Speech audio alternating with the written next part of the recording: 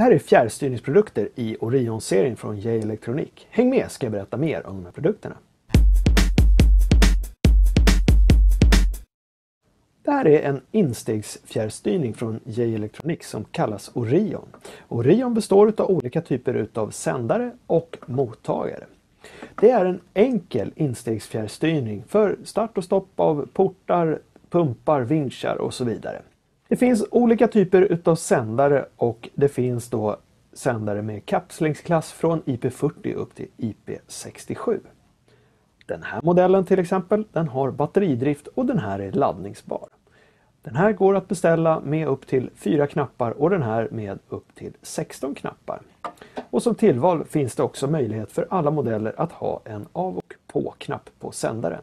Som mottagaralternativ så finns det modeller med 2 upp till 16 reläer. Några av mottagarna är som den här inbyggd i en vädertålig kåpa och det finns även mottagare som kan monteras på dinskenan.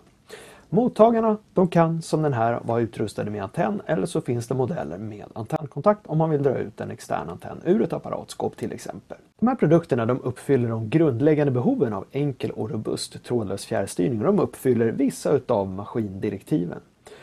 För mer information om de här produkterna titta på vår hemsida www.endurowireless.com eller slå oss en signal på 08 659 4300.